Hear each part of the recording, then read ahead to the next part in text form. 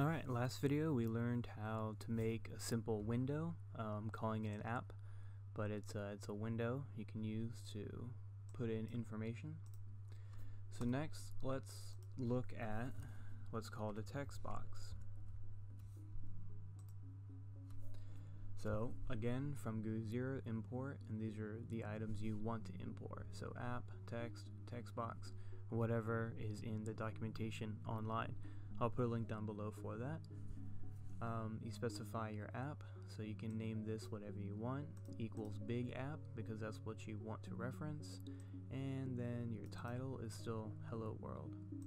And then at the very end, you want to add this line so it'll actually display your app, and small app is referencing small app. So for text box, you would name this whatever you want, so it'll be whatever equals text box. I'm just gonna name it text box. Actually, I'll leave it whatever, just so you believe me.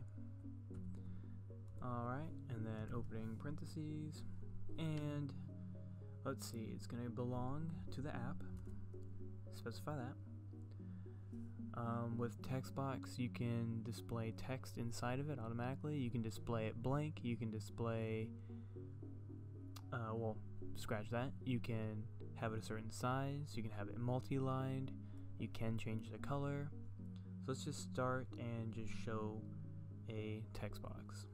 So let's go with width equals, um, let's make it 100 and see how big that is, and then height. You can only specify height if you specify multi-line, so I'll do that in a second.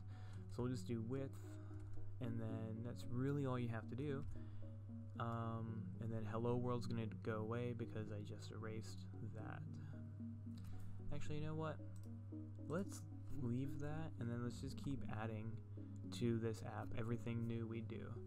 So let's go to, that was text. I'll name that hello text.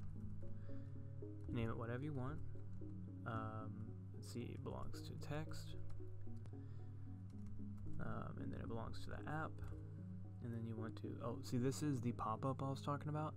Um, I don't know why it didn't come up last time, but it tells you everything that you can, you can, um, like add to this line. So text equals uh, hello world and then you can specify the color and all that. I'm not going to do that right now.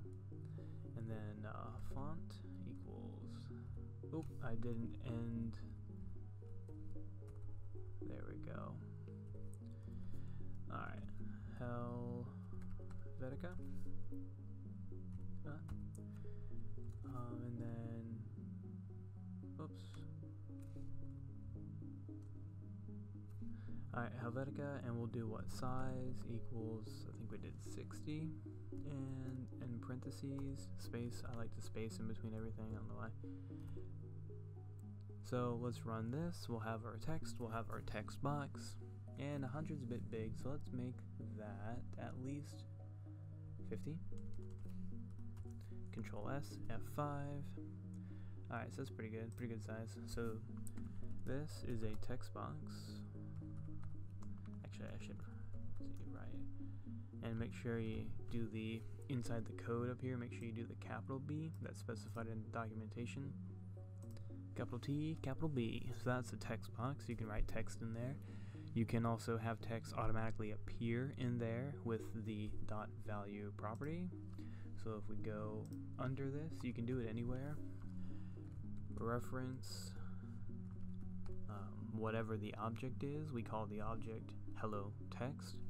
So you want to reference that. Dot value equals um, something cool. And then actually that is a string. So we want to put that in some quotes there. And control S. And that didn't work because I referenced the wrong something. So if I go to whatever and Control X, and Control V, and Control S, and F5. Now, we're back to Hello World. I referenced the wrong uh, object. So now something cool is in there. Um, you can also have a push button that saves whatever you have in the text box to a file. Endless things you can do. So let's, we'll just leave that like I said. We'll just keep going here. So let's do one more thing in this video real quick. We'll add a push button. So you can name it whatever you want. I'll just name it push equals big push button. So that's what I'm referencing. Also, it's going to be inside the app. And with push button, you can do a couple things. You can do a command, you can do size, you can do text on the button, stuff like that. It's always in this module. It's always going to be like a rectangular push button um, or a square, depending on your dimensions. But it won't be circular or anything like that uh, in this module.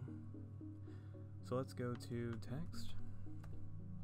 Oops, and that's going to be a lowercase text, and it's going to be equals, that's going to be a string, so it's going to be push me, and that can be whatever you want. And we'll do width, um, actually the width might not work in here. Let's add that to the bottom. Uh, we'll just we'll just leave it like that, and then we'll do it down here. We'll add a width, so we can do push dot width, and this is just a property. Sometimes it doesn't work in the in the same line as everything else, so I just always do it in a property. Let's width equals uh, 30, and then height equals. Oops, I have to reference the object. Dot height equals. Uh, let's just to make it symmetrical. Let's do 15. Be a nice rectangle. Uh, and then, like I said, in the text box, you can make that multi-line. So let's just make that multi-line real quick. So you mul equals true. Um, multi, did I spell it right? I think I spelled it right, I don't know. And then after that, you can specify a height equals, um, let's do, see that was 50, let's just do like 10. and that's really big. So let's just do. it doesn't really matter. Let's just do two then. I guess that'll be. Yeah. So that's okay. So we have an error. That means we didn't do something uh, right. So we have our something cool, and that's twice as big now. So we can return and type something else. Now our error down here is um, we didn't define push button. So up here we need to define push button. So capital P, capital B. So then once we control S and F5, that's a really big push button, but you can push it, see that? So we have our hello world, our multi-line text box, our push button. So let's make this push button a little bit smaller. So we'll do 15 on the width, and then we'll do like 5 on the height. No, that's still pretty big. I don't really like it that big. So let's just do 10 and then 2.5. Hopefully a decimal works. Nope. So a decimal, so this is actually a decimal or a float. Um, it's not accepted. So now we have a moderately sized push button and you can change the colors, you can write a function, to where this will change colors and toggle every time you click it and do something else. We'll go over that later.